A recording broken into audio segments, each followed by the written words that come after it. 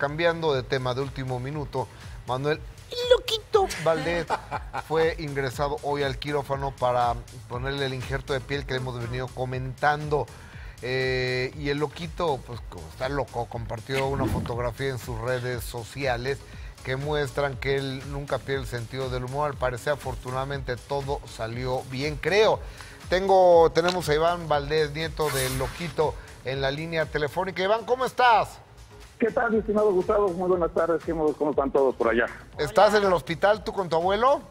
Sí, aquí estamos justamente ya esperando que nos dejen pasar, ya que lo suban a piso, está ya saliendo de terapia intensiva, vaya de lo que es recuperación, y ya en breve lo vamos a ir a, ver a su, a su cama. ¿A qué hora fue la operación? ¿Cuánto duró y, cuál fue el resultado de la misma?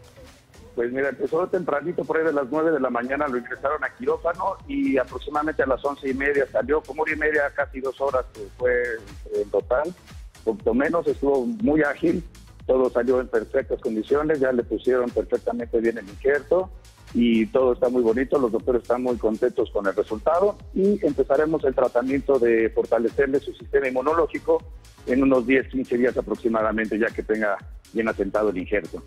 Una última pregunta, Iván, ¿de dónde le quitaron la piel? ¿Porque iba a ser de la pierna o también iba a ser de, de no sé dónde? sí, el cotorreo mucho iba a ser de la nacha, pero que si la ponían de la nacha le iba a quedar muy arrugado de ahí, entonces prefirió mejor de la, de la pierna, le sacaron del muslo, del muslo derecho, le sacaron el pedazo y le unieron la piel para que le quede una cicatriz, una cicatriz muy ligera en la pierna, entonces no, le va a causar molestia. Este, sí. No, no, y, nomás que, que, le mandas un beso a tu abuelo, por favor, y gracias por tomar la comunicación. claro que sí, encantado. Estamos encantados. Saludos a todos. Gracias. Gracias, saludos. El loquito se queda en cancerología este fin de semana. Sí. Y el próximo lunes estará saliendo de, de, este hospital. Qué bueno, felicidades, que nuestro loco está bien. Claro.